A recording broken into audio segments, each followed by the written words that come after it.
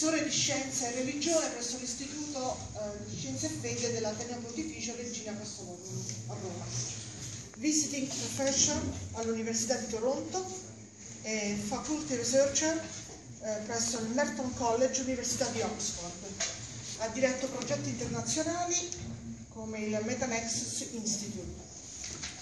Dunque, l'oggetto della sua relazione è appunto i Borboni e le, i Borbone e le potenze europee, 1799-1860. Prego. Comincio? Sì.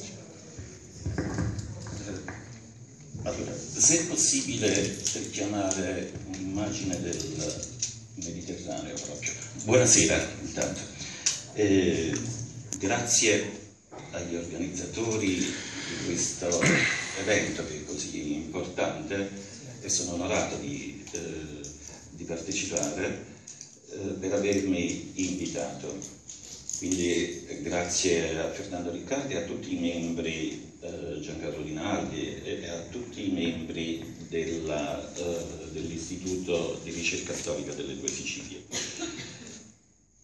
Grazie anche a chi ci ospita, naturalmente, quindi la dirigenza scolastica, grazie a chi modera questo convegno, entro in media stress.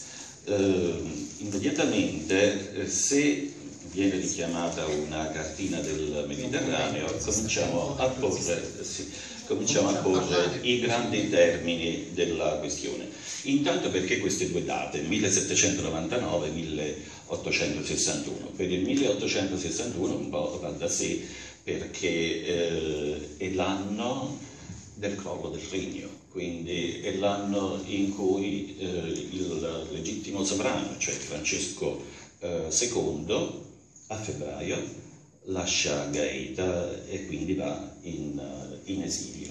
È l'anno di eh, fondazione del, invece del Regno d'Italia, quindi parliamo del 17 marzo. Per il 1799 invece ricordiamoci che questo è un anno un po' speciale, siamo nel 2019, quindi sono 120 anni. 220. Eh, 220 anni, sì.